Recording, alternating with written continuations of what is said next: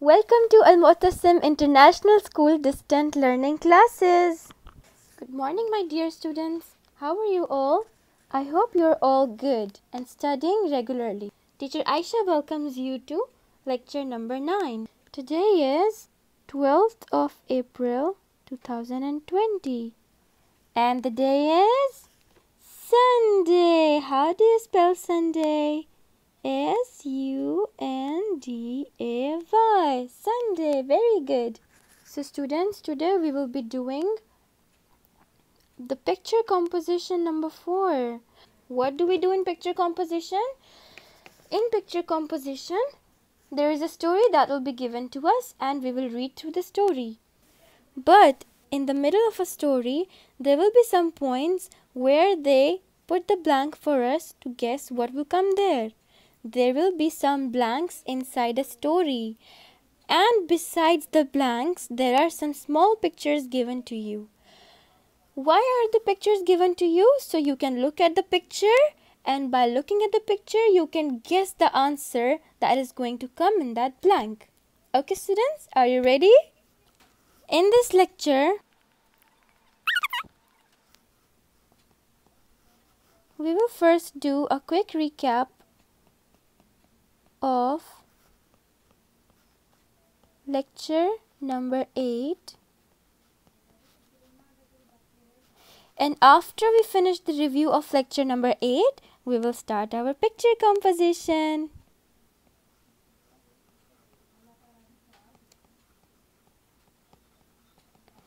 The picture composition on English workbook page number 63 and 64. So tell me students, are you ready? Let's get started.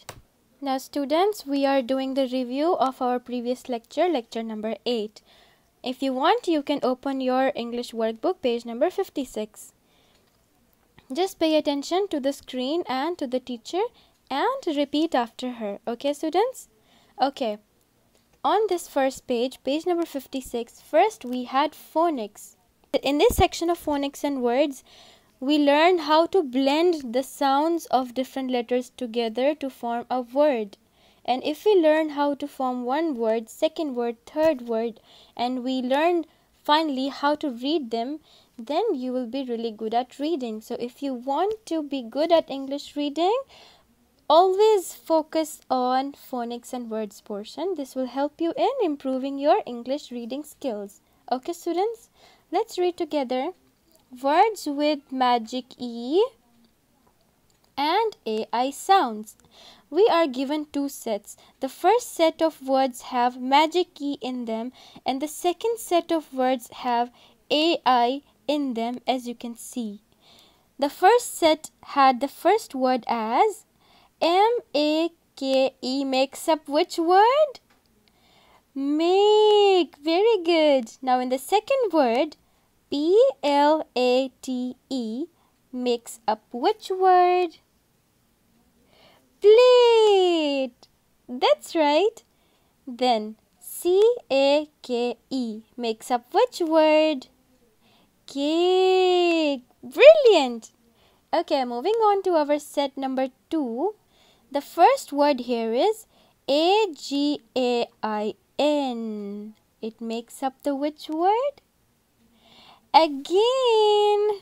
Very good. Moving on to our next word. Let's read W A I T. W A I T makes up what? Wait. Very good.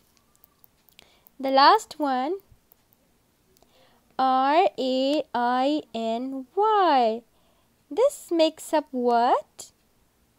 Rainy. Very good. Now you are ready to move towards hard words. I hope students that you have done this portion as your homework by now. The first word we had was truth. What was it? Truth. T R U T H. What truth means? Who remembers? An act or words or sentences which are true. Remember how we always talk about true and false. We often have exercises of true and false in our workbook. True means something which is true, and false is the opposite of true. Okay? So, truth means an act or words or sentences which are true. They are called the truth. Okay? As you can see the resemblance between truth and true. They both look and sound the same, right? Because they both have the same meaning. The second word we have here is afternoon. How do you spell afternoon? A F T E R N O O N. Afternoon. Now, what afternoon means? As you all know, that in our day, our day starts from the morning, right? In our day, the whole day is divided into some parts. The first part of the day is called the morning. When you wake up, that's when the day starts. In the morning. That's the first part of the day and it's called morning. The morning part ends at noon time. Noon time? At noon time, the morning time ends. And after the noon time comes afternoon. Afternoon starts after 12 pm. What is this time? Remember in your school when do you have your Arabic period and when do you have your Islamic period? After that Arabic period, your afternoon starts at that time. But when does this time end? Very good. Afternoon ends at evening time. So we can say afternoon is the time from noon till evening. Okay, students? Moving towards garden, that is our third hard word. G A R D E N. Garden. What is garden? A garden is a land full of flowers, trees, and plants. Okay? Our next word here is fridge. How do you spell fridge? F R I D G E. Fridge. A fridge is an appliance that we use usually in our kitchens. That device is plugged into electricity and it keeps our food cold, which keeps it fresh. It stops the food from going bad. Okay, students? Why we want to keep our food fresh? So we can use it again. Okay, students? Our next word here is, let's read together. K-I-T-C-H-E-N. Kitchen. What is a kitchen? A kitchen is a place where people cook their food. Okay? Number six. Let's read together. T O M O double R O W. It makes up what? Tomorrow. Very good. What is tomorrow? Tomorrow is a day which will come after today. Okay, students? Like today is a day, and the day that comes after today is called tomorrow. Okay? Number seven, let's read F L O W E R S. What's the word? Flowers. Very good. What are flowers? Flowers are a part of plant which is brightly colored and is usually with every plant. Only a few plants have flowers and this flower is also at the end of a stem. Okay, students? It's the most beautiful part of the plant and we all love flowers. Moving towards our exercise C, which is about right meaning of the following words. There are two words given to us and we have to write their meaning. Let's read through them. The first word is afternoon. What's the meaning of afternoon? Time from noon to evening. Let's repeat. Time from noon to evening. Very good. Garden. What's the meaning of garden? A land full of flowers, trees and plants. Are you reading with me? Let's read again. A land full of flowers, trees and plants. Okay, students? Now please open your workbook page number 57. Okay, on page number 57, the first exercise we had was write the missing letters. We have some words in front of us. From these words, some letters were missing and what did we do? We guessed the word first and then we filled in the missing letters. So, number one was, let's read garden. What was our missing letter here? A and E. Garden. Number two, let's read plate. What was the missing letter? A. Number three, what's the word? Cake. And what was the missing letter? E. Very good. Moving towards number four, what was the word? Truth. And what's the missing letter here? U. The last one, what's the word? Flowers. What's the missing letter? O and E. Very good. Garden, plate, cake, truth, flowers. Good. Now moving towards our next exercise, which is the fill in the blanks. There are three sentences given to us and there are three blanks given to us. We have to fill those blanks. Number one is Mango Django gave mummy some dash.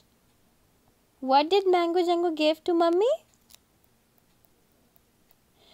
Flowers. Excellent. Number two, Mummy dropped her dash in surprise. When Mango Django entered through the gate and when Mummy saw him first, what happened? She was in a shock and she dropped something which she was holding in her hands. What was that thing? Plate. Very good. Number three.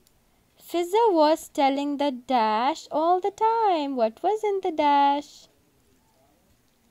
Truth. Very good. Number 4.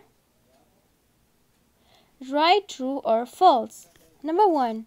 Mummy had laughed at Fizza when she told her about the monster. True or false? I repeat, Mummy laughed at Fizza when she told her about the monster. True. Good. Number 2. Mango Django had a towel and some cake. True or false? True. Very good. Number three. Mummy and Fizza made some pancakes. Is it true that Mummy and Fizza made pancakes for the monster? Very good. False. Okay, students. Now please open your workbook page number 58.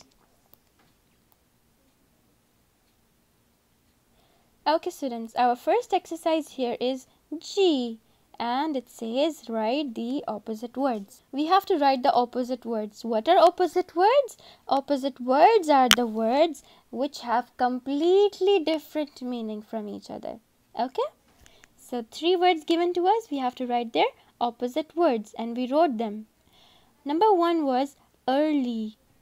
What's the opposite of early? Late. L-A-T-E. Late. Very good. Number two, some. What's the opposite of some?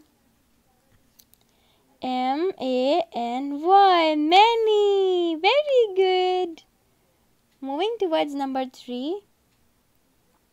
Give. Who can tell me the opposite of give? Take. T A K E. Very good. Then students, we had next exercise about answering the questions. There were three questions given to us and we had to write their answers. Question number one is, why did Mango Django come late? It's easy, right? So tell me, come on. Very good. Mango Django came late because it was raining. Question number two. Why did Fizza want to make a cake? I repeat, why did Fizza want to make a cake? Who can tell me? Fizza wanted to make a cake because a monster was coming home. Very good. Number three. Was Fizza telling the truth? Yes, excellent. Yes, Fizza was telling the truth all the time. Now, students, on page number 59, it was our copywriting. I hope you all wrote the copywriting while also following the rules. And on page 60 was your copywriting also, but it was your homework. I hope you also did that. Now, students, are you ready for our new lecture? Let's get started. Dear students, please open your English workbook page number 63 and 64 and I want you to write the date on the top of both pages.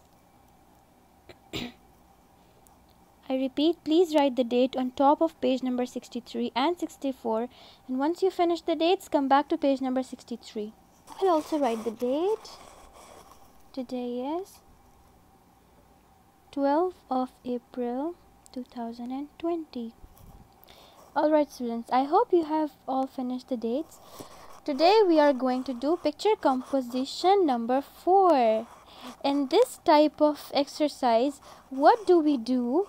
We always have a story in front of us. It's a good story with a very good moral lesson. You are going to learn a lot. So we are given a story and between some points there are some blanks in between and you have to answer in those blanks. But how will you answer them? For your help, some pictures like this, this, this, and this. All these pictures are given to you for your help. So you can look at the picture and guess the answer. Alright, students? What you will do, you will simply look at the picture and you will try to get the meaning what that picture is trying to say. And whatever the picture is trying to say, there must be a word for it, right? You will write that word in the blank that is given to you. Okay? So, are you ready? Let's get started. Oh, yes, one more thing. When we finish filling all these blanks, in the end, we will read the story together. Okay? Let's go. And please repeat after the teacher. Picture composition number 4. The lion and the bear. Now pay attention, okay? Because you will be telling the answers, okay? It was a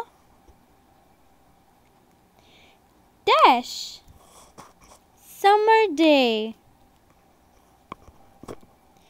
Now students, please take a look at this picture. What do you see happening here? Can you see a boy? Can you also see a sun? What's happening? He was what? Feeling? With the sun, he's sweating and he's fanning himself because it's what?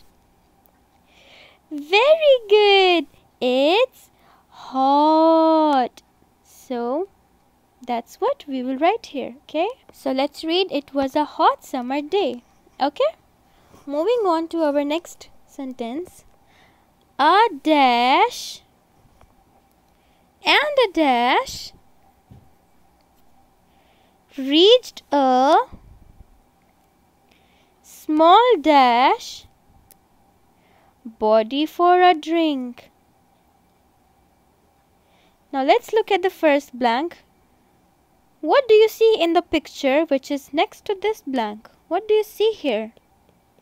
Very good. It's a lion. How do you spell lion? L I O N. Very good. We have another blank. What will come here? Let's look at this picture. What is this? Can you name it? A bear. So how do you spell bear? B E A R. Okay. For the next blank, we need to see this picture. What do you see inside this picture? Hmm? It's a water. Excellent. So water we write. How do you spell water? W A T E R. Very good. So let's read the sentence. A lion and a bear reached a small water body for a drink. Very good job. Next one. They began arguing and dash about who should drink first. After a while, they got tired and stopped for a breath where they noticed dash above. Now we can't understand the meaning right now because we are still filling in the blanks. After filling in the blanks, we will see what this means. Okay? Let's come to this blank first. What do you see in this picture? There are two kids. Can you see these two kids? Now you tell me, what does it look like? What are they doing? Look at the facial expressions. Do they look happy, angry, surprised? Remember how we learned to describe our feelings? How, how do you explain this, this expression here in this small picture? What do you see? They are doing what? Fighting! Very good! And fighting. And this is how you spell fighting.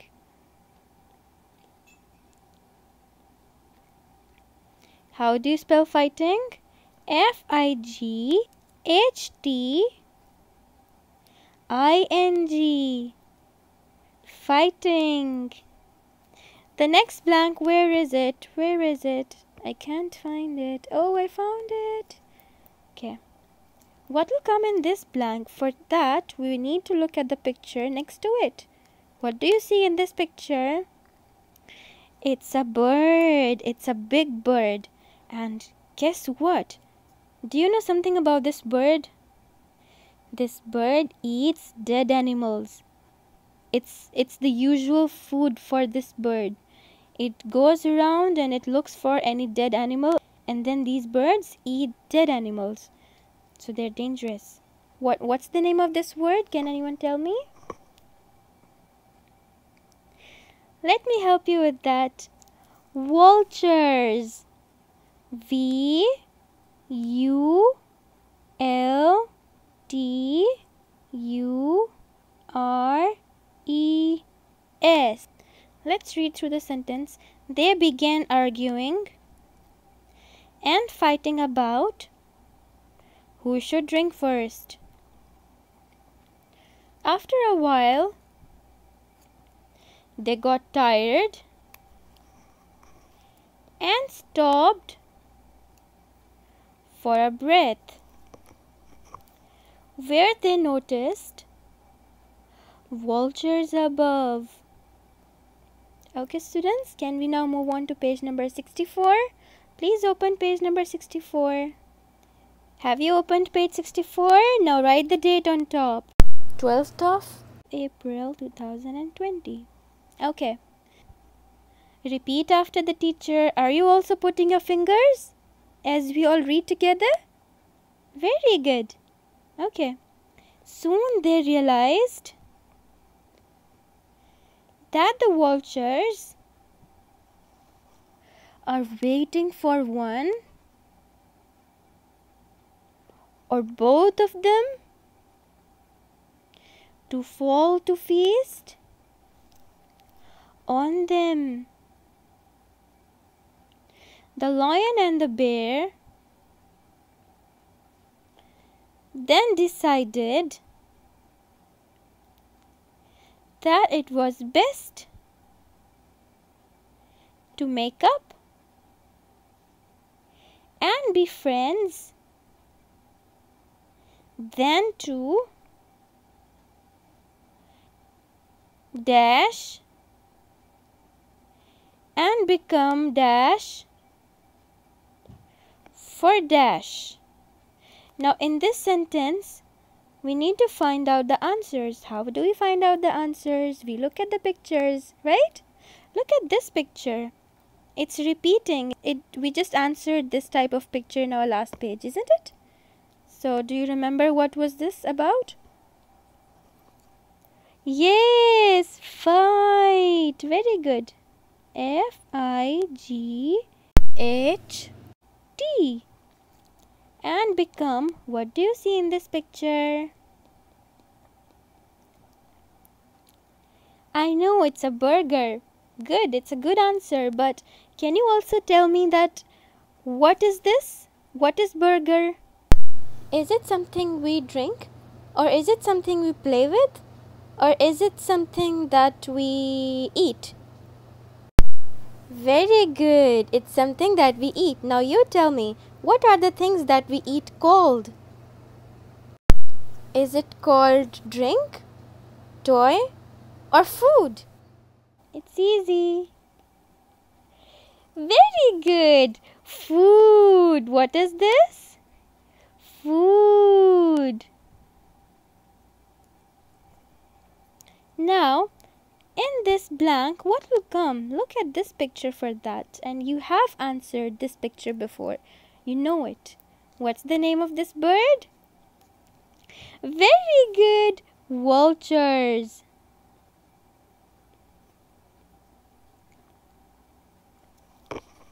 V U L T U R E S vultures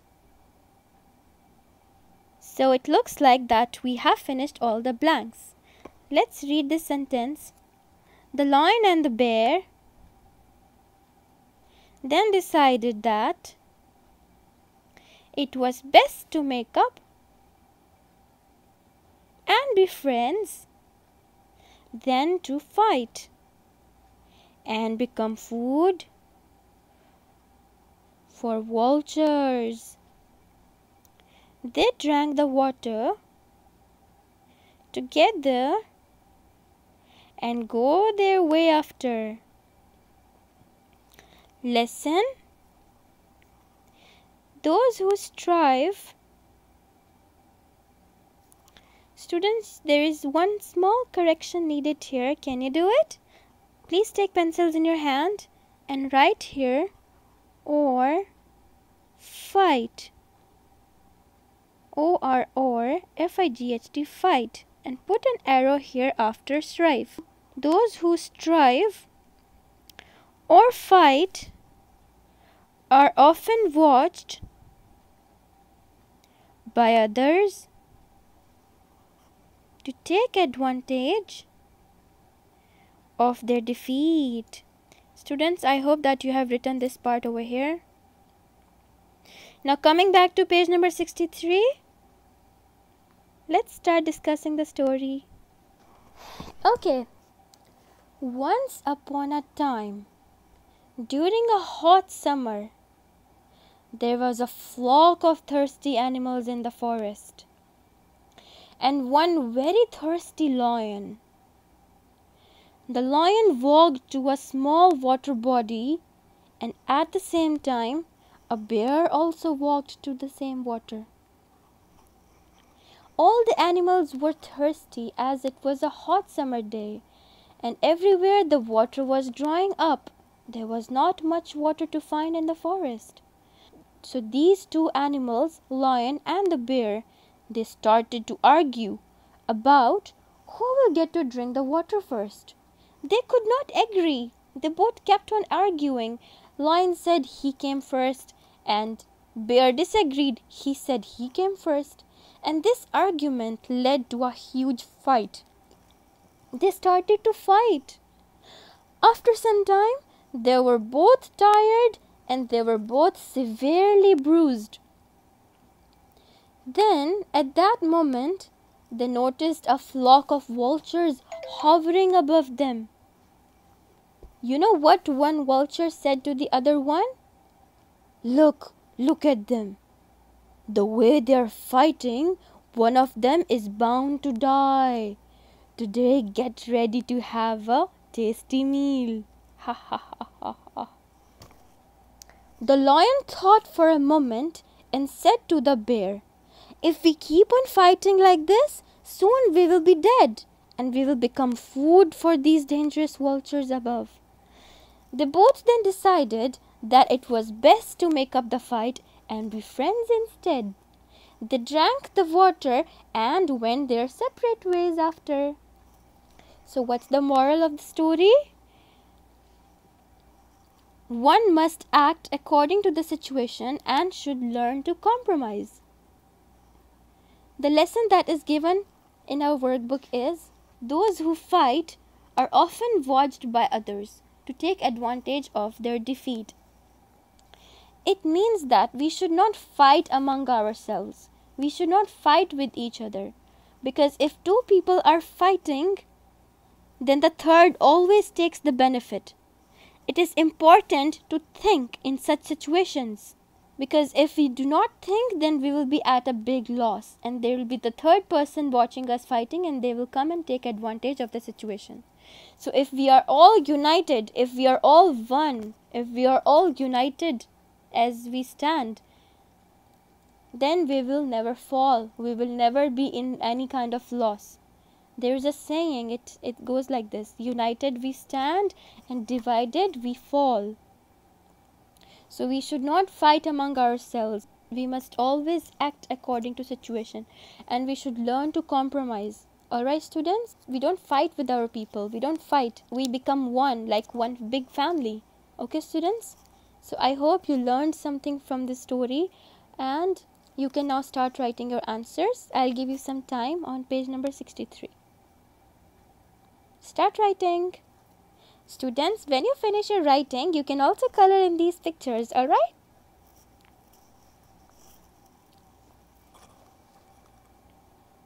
Now students, I hope you have finished page number 63. Now finish page number 64. Take your time and finish this page. You can pause the video if you want. After you finish this page, then you will go back to page 63 and start coloring with the teacher, okay?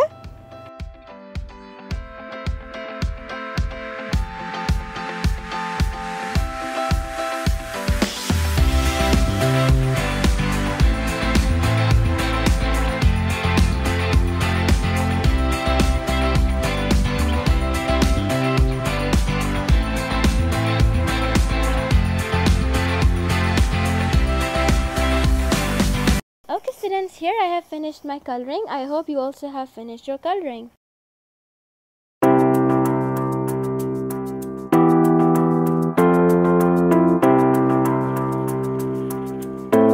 Thanks for watching my lecture video.